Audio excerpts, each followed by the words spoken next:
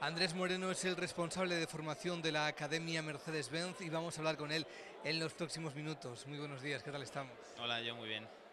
Te veo alegre, te veo con cara de felicidad. Eso quiere decir que todo ha salido bien y que una vez más Mercedes-Benz ha apostado por confort y por la formación profesional. Sí, bueno, evidentemente, es decir, no solo Mercedes-Benz, todos los patrocinadores presentes hoy, pero bueno, sí, yo creo que hemos concluido con éxito un concurso que llevamos haciendo ya nueve años, con mucho cariño, y una vez más, pues quien sale ganando es la formación profesional, ¿no? que es de lo que se trata. Vosotros además, en la Academia de Formación, estáis siempre presentes en esa formación, valga la redundancia, y siempre colaborando con la Fundación Confort. Sí, es, eh, así es, ¿no? La verdad es que ya con el tiempo se ha establecido un vínculo Mm, también de amistad, ¿no? un vínculo sin ninguna duda muy profesional en el cual pues a pesar de los momentos que estamos viviendo que nos están haciendo reducir presupuestos y bueno ajustar muchas cosas pues eh, sin ninguna duda es uno de nuestros proyectos estrella ¿no? y que queremos mantener mucho tiempo. Yo quiero también conocer un poquito cómo es la Academia de Formación de Mercedes-Benz.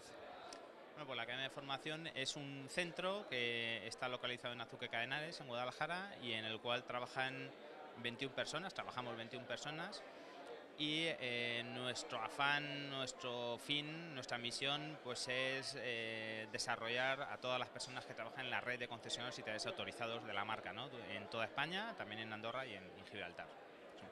De esa forma, cada vez que nuestro coche Mercedes se va al concesionario, saben perfectamente qué hay que hacer y cómo solucionar cualquier mínimo problema. Sí, bueno, deberían saberlo, ¿no? Eh, eh, nuestro afán sí, eh, efectivamente la parte fundamental de nuestro trabajo es la formación técnica, ¿no? la formación de todos los técnicos que integran la red de concesionarios, pero bueno, no tenemos que olvidar que también tenemos personas dedicadas a la formación de los vendedores, ¿vale? para que conozcan el producto, para que puedan presentárselo a los clientes, para que puedan vender de una forma eficiente y luego todo el resto de ámbitos ¿no? que integran la empresa, como puede ser pues, formación de garantías, formación de, recambios, ¿no? formación de muchas cosas. Realmente nosotros siempre decimos que por nuestro centro, por nuestro edificio pasa desde la persona recién entrada en cualquier puesto de la concesión hasta el gerente. ¿no? Muchísimas gracias y que sigáis formando no solamente a todas eh, a todos vuestros profesionales, sino también a muchos amigos de la formación profesional. Muchas gracias a ti. Hasta ahora.